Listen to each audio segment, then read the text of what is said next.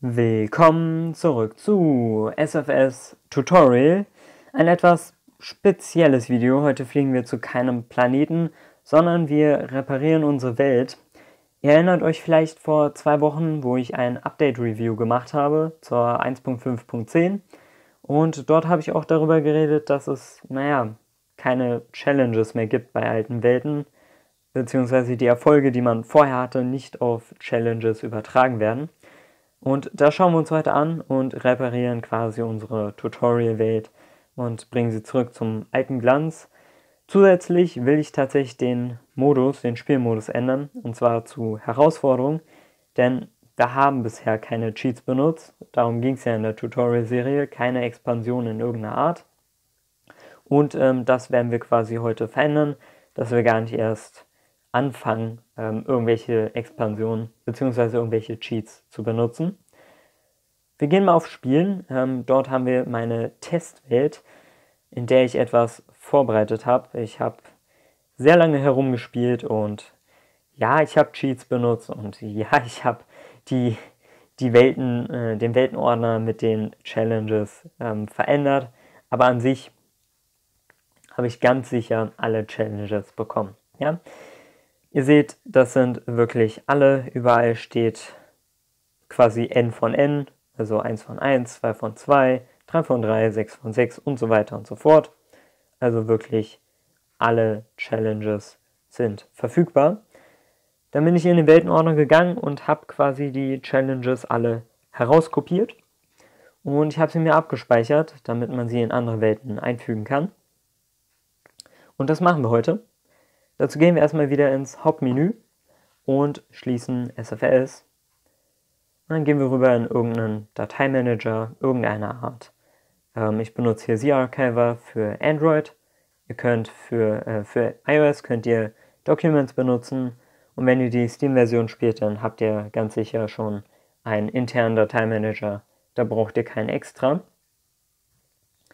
Jedenfalls die ganzen Speicherorte sind auch in der Videobeschreibung ich werde das hier für Android nur genauer erklären, da ich auf Android bin.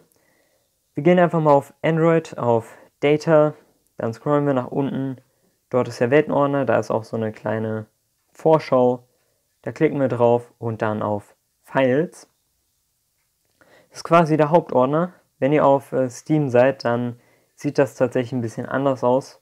Zum Beispiel die beiden Ordner hier sind in einem Extra-Ordner, der ähm, Spaceflight Simulator unterstrich Data heißt. Also ein bisschen anders wird schon aussehen, aber damit beschäftigen wir uns heute gar nicht, sondern mit Saving. Das sollte überall gleich sein. Quasi, wenn ihr den Weltenordner öffnet, dann sollte es den Ordner Saving geben. Wenn wir da mal draufklicken, dann gibt es einmal die, die Baupläne, Benachrichtigungen, Einstellungen und dann unsere Welten. Wir klicken auf Welten und dann wählen wir die Welt aus, die wir quasi reparieren möchten. In dem Fall die Tutorial-Welt. Wir haben wieder einige Ordner. Backup, Blueprint Persistent, Persistent, Quick Saves, Revert to Launch und World Settings. Wir werden uns einmal World Settings anschauen und einmal Persistent. Ähm, Persistent ist quasi der letzte Speicherstand wenn ihr die Welt verlässt, heißt das quasi das Allerneueste und wenn ihr die Welt neu öffnet, dann werden die Dateien daraus geladen. Das öffnen wir tatsächlich zuerst und da haben wir wieder einige Dateien, unter anderem die alten Achievements, die dummerweise nicht in die Challenges übertragen werden. Jedenfalls, das machen wir jetzt. Wir gehen hier einfach auf Challenges, wir öffnen das, klicken auf Öffnen. Wenn ihr auf Android seid, könnt ihr Code Editor benutzen. Link in der Videobeschreibung. Wenn ihr auf iOS seid, könnt ihr Coder benutzen, Link in der Videobeschreibung. Und wenn ihr die Steam-Version spielt, dann habt ihr den Texteditor von Windows, also dort sollte es kein Problem sein. Jedenfalls, ich habe hier quasi meinen Status mit leeren eckigen Klammern. Ähm, eine leere Liste quasi bedeutet, ich habe keine Achievements erreicht, was natürlich nicht wahr ist. Heißt, wir löschen das einfach mal. Und jetzt wollen wir hier die Challenges einfügen. An sich könnte man alles per Hand eintippen, aber ich habe es mir einfacher gemacht. Ähm, ich gehe hier mal auf auf schreibgeschützt, so, damit die Tastatur weg ist. Und da haben wir die ganzen Challenges, die es momentan quasi mit normalen Sonnensystemen gibt. Und ich habe die auch nach Planet sortiert. Das heißt, eigentlich habe ich die in einer ganz anderen Reihenfolge bekommen, aber egal. Jedenfalls haben wir oben den Merkur. Zwar einmal One Way, wenn man nur auf dem Merkur landet, und Landing, wenn man auch wieder zurückkehrt. Sind quasi die beiden, die man bei Merkur bekommen kann. Venus hat quasi genau dieselben, auch wieder One Way und Landing, wieder nur auf der Venus landen und auf der Venus landen und zurückkehren. Dann haben wir die Erde, Liftoff unterstrich 0. Das erste Mal, wenn ihr eine Rakete startet, bekommt ihr diese Challenge. Äh, Reach 10 Kilometer und 30 Kilometer, wenn ihr jeweils die Höhen in der Erdatmosphäre erreicht habt. Reach Downrange, wenn man 100 Kilometer vom Weltraumzentrum entfernt landet. Und das habe ich auch ganz sicher schon in einem meiner äh, Videos geschafft. Bin mir nicht ganz sicher, aber ganz sicher eigentlich. Ja? Dann Reach Orbit, wenn man den niedrigen Erdorbit erreicht. Orbit High, wenn man den hohen Erdorbit erreicht. Moon Orbit, wenn man den Mondorbit erreicht. Land Moon, wenn man auf dem Mond landet. Moon Tour, wenn man quasi drei Sehenswürdigkeiten auf dem Mond besichtigt. Unter anderem zum Beispiel den Kopernikus-Krater, Gale-Krater und eine der Tiefebenen. Ähm, jeweils insgesamt drei mit einer Rakete. Dann bekommt ihr diese Challenge auch. Ähm, Asteroid Crash, wenn man auf den erdnahen Asteroid einkracht mit über 200 Meter pro Sekunde an Geschwindigkeit. Und zu guter Letzt Land Near Earth Orbit, äh, Land Near Earth Asteroid, wenn man quasi auf dem erdnahen Asteroiden dann landet. Land Mars, wenn man auf Mars landet. Mars Tour, wenn man Mars, Phobos und Deimos mit einer einzelnen Rakete be äh, besucht. Land Phobos, Land Deimos, wenn man quasi beiden Monde besucht. Und da haben wir die Jupitermonde genauso wie hier vorhin. Ähm, einmal auf Io, Europa, Ganymed und Callisto. Und Jupiter ist leider selber nicht dabei, was sehr schade ist.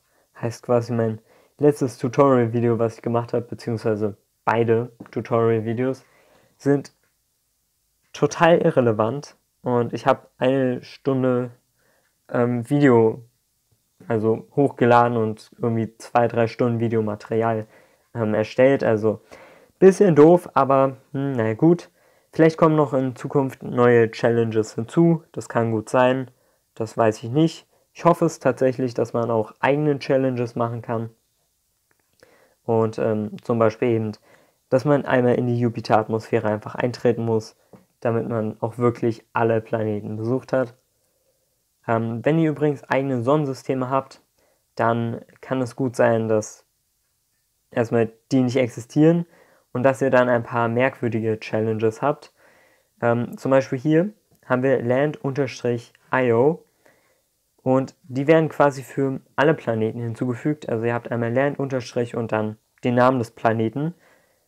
Und das ist völlig irrelevant, ob der Planet eine Oberfläche hat. Das heißt, wenn ihr Saturn zum Beispiel hinzufügt, dann steht da auch Land-Saturn. Also müsstet ihr dann auf Saturn landen.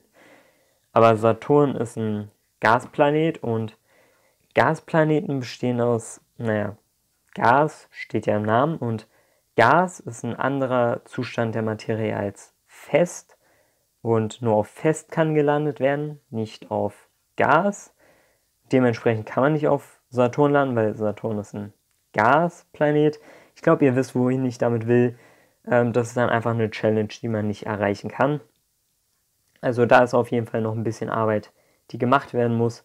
Aber an sich sind wir jetzt quasi hier im ähm, Status quasi die 1.5.10.